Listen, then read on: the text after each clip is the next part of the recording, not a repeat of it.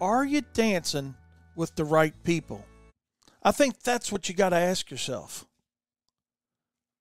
Are you dancing with the competitors that you think are doing it right? Or have you surrounded yourself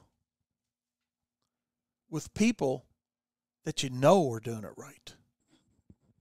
And I'm not just talking about picking a mentor like Wayne Volz and Profits Unlimited. There's lots of great mentors out there. Eric Jones is a great guy. Adam Linneman's a great guy. But you got to dance with somebody that understands the dance and not trust.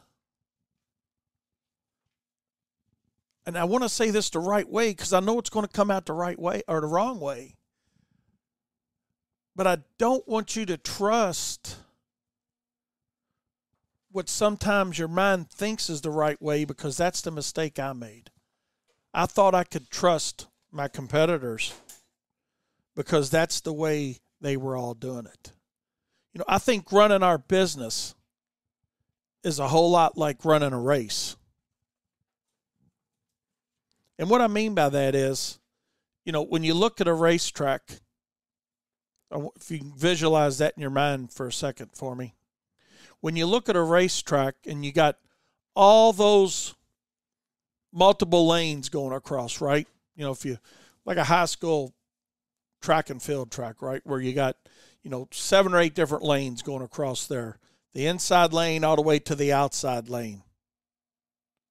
What I want you to visualize and ask yourself is have you picked the lane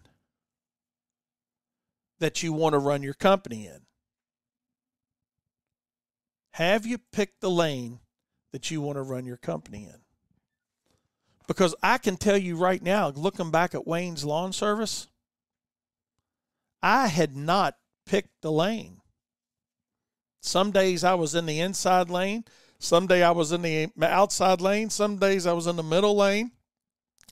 I was just running around that whole track with my arms wide open, changing lanes all the time trying to be everything to everybody rather than being something to somebody.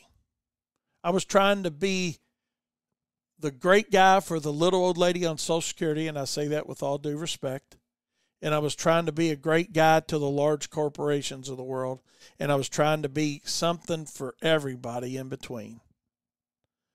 But all it was doing was narrowing my focus, which I thought my focus should be hey, I need to help everybody. I need to help as many people as I can help.